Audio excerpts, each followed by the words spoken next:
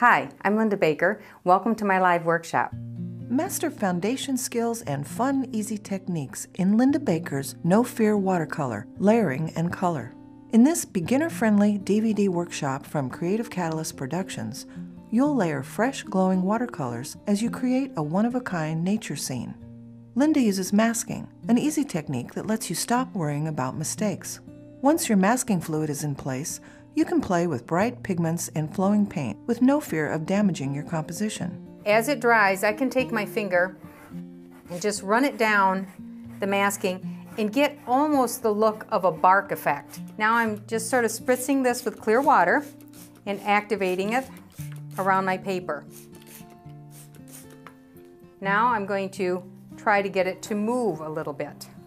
Have a little bit of fun with it. The forgiving subject matter in this demonstration is perfect for painters new to watercolor or artists who are still developing their drawing skills. Linda introduces you to her favorite tools and materials and offers practical design advice as she paints with broad, loose brushstrokes. You want to think triangular. Triangle is the strongest shape in architecture. They build girders, steel girders out of triangles. The triad is the strongest in paint. The triad of primary colors, red, yellow, and blue, is your strength. You add life to your tree line with simple texturing methods involving scratching, salt, and spattering.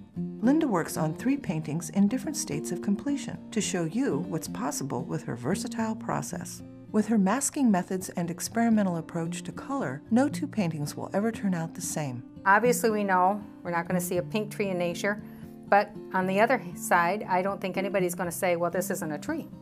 So because we're the artists, we get to decide. And I think that's part of the fun. I can go in just like this with my penknife and get a really wonderful bark-like effect.